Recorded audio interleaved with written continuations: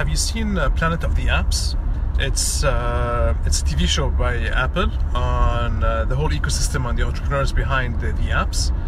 Uh, they it's, and it's their first Apple release. it. It's their first video. It's on Apple Music. So if you're an iPhone user, just open up your Apple Music. Uh, you'll be able to find it. The first episode is free to watch. The rest you need to be an Apple Music subscriber. Uh, it was a little bit slow. Uh, it was a bit slow, but uh, I think it will improve with time. The advantage for Apple is what they do is this will give a lot of ideas for new people to uh, uh, to create apps. Uh, like Shark Tank inspired others to, to to create their own business.